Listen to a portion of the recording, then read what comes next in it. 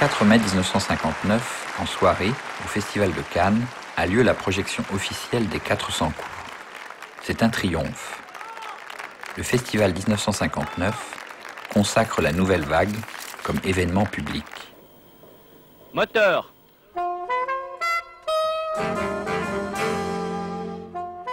Tout est puisé dans la réalité, rien n'est inventé. Ce qu'on filme, c'est la vie, et la caméra, c'est l'art, ou alors le, le contre, ou le contraire.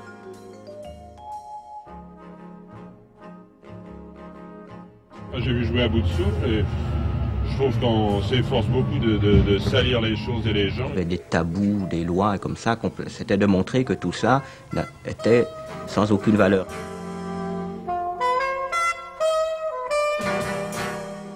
C'est épouvantable, c'est grotesque. I think of that stuff up there, Fritz. Ça doit être en avance sur son temps, je pense. Antoine Douanel, Antoine Douanel, Antoine Douanel, Antoine Douanel. Oui, moi j'aime ça les jeunes.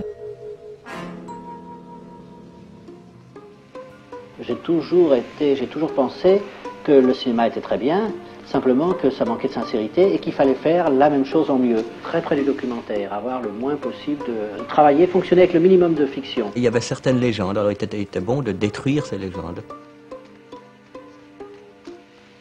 Alors il fallait euh, démolir ces fausses légendes pour que le cinéma français renaisse.